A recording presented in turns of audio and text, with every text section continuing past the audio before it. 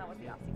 It's been great so far. I uh, still got two more weeks, two and a half more weeks to go. So uh, I'm going to take full advantage and hopefully get another round of golf in, uh, a couple nice dinners back at home, uh, enjoy the house, you know, lay on the couch, like totally just like chilling. So I'm excited to do that.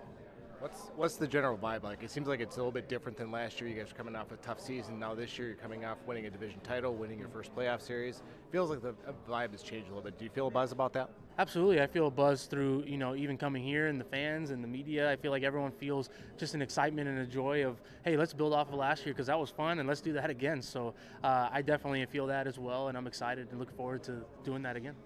What's your favorite part of Twins Fest? I mean, is it knowing that you know going to Florida and spring training's right on the corner? Is it getting more closer to the fan base, and, the, and you've endeared yourself to the fans with the way you act on the field? So, just what's that all like?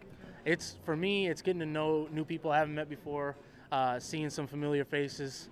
Uh, you know, I joke. I've, I've seen Jake is, is a fan friend of mine and I don't even call him a fan. I just call him a buddy. And so I see him around quite often, and uh, I see him every year. So I look forward to seeing people like that. And uh, my Cedar Rapids host family, they come out here sometimes, and I get to see them. So uh, for me, it's like people I love and care about. I get to see each and every year, and that's what I look forward to most. And then obviously my brothers and teammates, um, coaches, staff. Front office, uh, all the people I didn't get to see for the last three months because they were in Cabo or wherever they were at.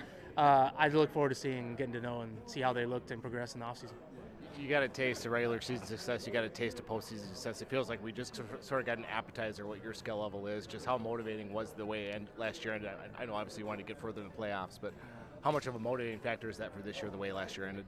It's a, it's a huge motivator. You know, what I mean, to, to taste that loss uh, against the Astros was not fun. Um, you know, it's tough. It still it hurts because I thought I thought we had it. I thought we had a really good team. We still do. It's not nothing. The team hasn't changed, and that's what I'm looking forward to most about this year. But uh, obviously, when you're in the moment and you can control what you can control, uh, I think you know we tried our best and we gave it our all, and that's all we can ask. But at the end of the day, it still sucks to lose. So uh, hopefully this year we have a chance. Obviously, it's Major League Baseball. There's going to be changes in the offseason with the team, but the core group's pretty much similar to last year. Chemistry was really great last year too. How excited does that and confident does that make you headed into this year? Super confident, super excited, uh, just to go hang out. Uh, you know, for Carlos to make his chocolate chip pancakes on the road, for uh, you know Farmer to to you know be hanging out and making fun of me on the bus, or not only me but all the guys, all the rookies. So uh, you know it's fun to have those stories for you know not only myself but all the guys, and um, you build such great bonds with each other, and so that's what I'm looking forward to most. And talk about chemistry, I think we've got a great team and, and a lot of chemistry going on after living the success that you guys had last year, getting to the postseason, winning the you know third division title in five seasons under Rocco, what's the standard this year? How do, how do you push that forward?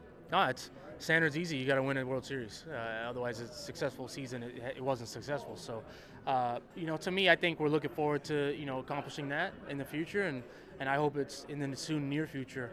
Uh, just personally, I think we have the guys to do it. I think we have all the pieces. I'm really looking forward to uh, getting after this year and uh, giving it our all we hear during the luncheon, we hear from Rocco, we hear from Pablo, everyone talking about the younger guys and the confidence that they have in, in growing this organization through, you know, guys like yourself and, and the younger guys you relied on this past season. How does that make you feel, the organization so willing to invest in a younger group of people coming up? It makes me feel uh, amazed and excited because uh, you know it's not only myself but it's all my friends too that I grew up playing with in the system uh, that's going to be helping our team win and helping the Minnesota Twins uh, win a World Series one day and so uh, I definitely look forward to what's to come this year, but also in the next few years because, like you said, we're so young, and even our veteran leadership is very young. Like I mentioned, I'm like Carlos feels like he's been in this game for 20 years with the wisdom he's gained and uh, the talent and the high level he's been playing at for the last you know nine ten years, whatever it may be. Uh, I mean, it's just fun to watch him play, but he's still on the right side of 30. So I'm like looking at it like you're still very young, man. You're in your prime, and so uh, to see guys like that, your veteran leaders in, in their prime, him and Buxton and Kepler and Polanco, and they're still killing it. And then as a young guy, trying to em- emulate them and uh, man, it's huge respect because our team's exciting to watch. And like I said, when you're fun, I think your fan base also gets energized from the from the youth, and uh, we have a good time. Is it kind of crazy to think that I looked this up last night just to make sure I was right, but I, I, believe four of your five hits in the postseason were home runs, and you got to live those moments. You know, engaging with the fan base after those huge moments. Just what was that like? You know, being able to come up with those big hits. Uh, you know, it's great, but I, I, think it's, you know, you said that four out of five hits. It's like, man, I'd rather get more hits, more singles. So maybe I got to tone it down and stop trying to think homer all the time. Uh, you get excited after you hit one. It's hard. It's really hard. Human nature tells you like, yeah, hit more. You know, get stronger, hit more. Uh, and that's when you start, you know, making mistakes at the plate. So uh, I'm gonna start toning it down and try to hit more line drives and focus on just, you know, barreling the ball best of my ability, and uh, we'll go from there. You were telling the beat writers that your family had said that you they felt like you hadn't shown all of yourself quite yet in your career. What more do you think you have to prove?